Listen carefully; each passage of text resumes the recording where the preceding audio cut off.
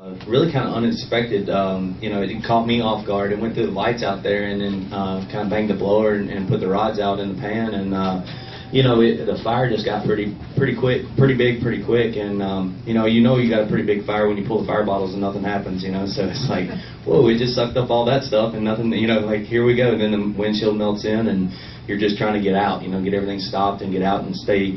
I could pick out pieces of the wall here and there, you know, kind of figuring out where I was at and try to stay over near the wall and off of crews and stuff. But uh, you just knew it wasn't going to be good because it was such a big fire that your guys were going to have to work so hard that night. And uh, man, did they they put in? Um, I don't know. They have, I think they finished up at 3:30 that morning and uh, went back, got two hours of sleep, and rolled back out here to the racetrack on on Saturday, and we got that one hit, you know. So uh, basically, uh, it was a planned shutoff. We, he says, "Look, this is a brand new race car we built. We've never made a lap on it. Let's just go take it half track, get to half track, and, and shut it off, and and see. Look at."